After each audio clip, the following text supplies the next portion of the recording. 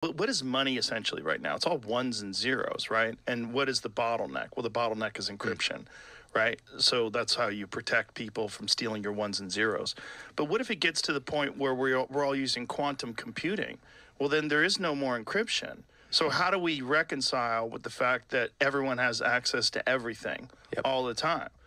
I mean, how do we even enforce that? Like, what do you do about an even distribution of information, which is essentially wealth? Because information is numbers. Yep. Numbers are wealth.